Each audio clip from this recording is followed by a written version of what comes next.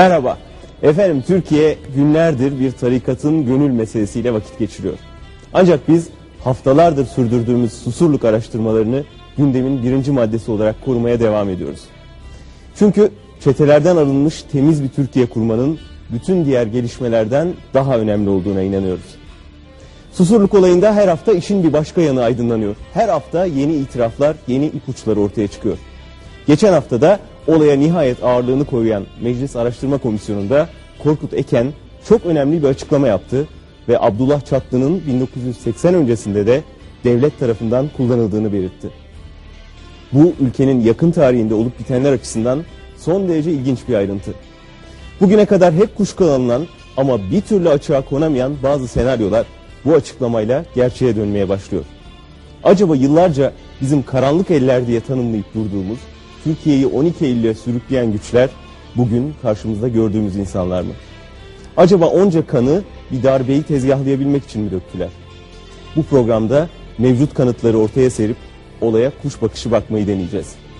İpuçları bir araya getirilince bugün artık adlarını ezberlediğimiz insanların 12 Eylül'e varmamızda nasıl bir rol oynadıkları bütün netliğiyle ortaya çıkıyor. Ortaya çıkan tabloya göre Türkiye'yi bir askeri darbeye sürüklemek için bir kargaşa ortamı yaratılmış ve devlete çalışan bazı kiralık katiller bu amaçla cinayet işlemişlerdi.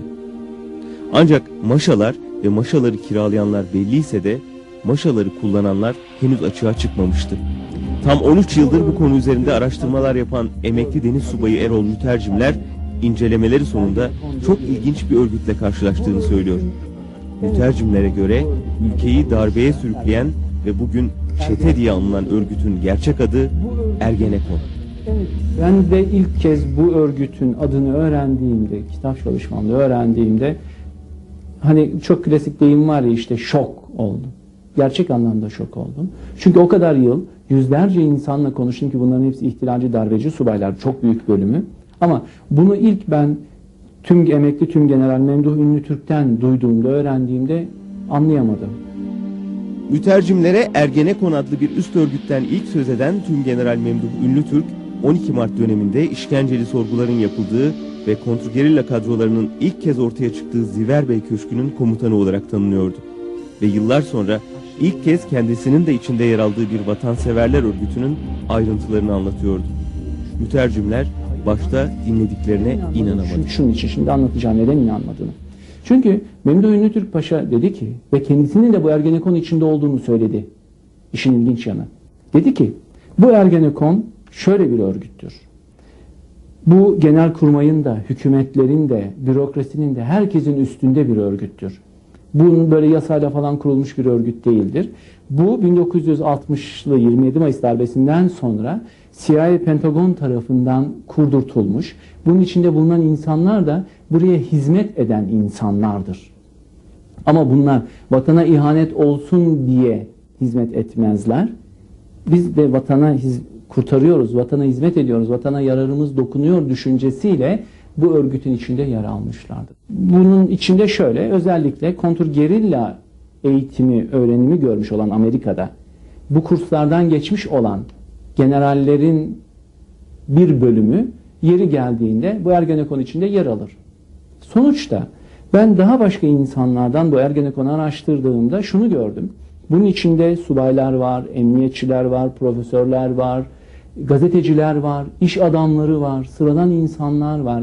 İşte biz bugün çeteler dediğimiz bu küçük birimler var ya, işte bu birimler Ergenekon'un içindeki birer bölüm, birer parça. Adını saydığımız kişiler de Ergenekon adı verilen bu üst örgüt tarafından kullanılan tetikçiler. E, biz bunu 1977'de açıklamıştık. Tabi Gladio adıyla değil, gene e, kontrgerilla adıyla da değil, resmi adıyla e, açıklamıştık.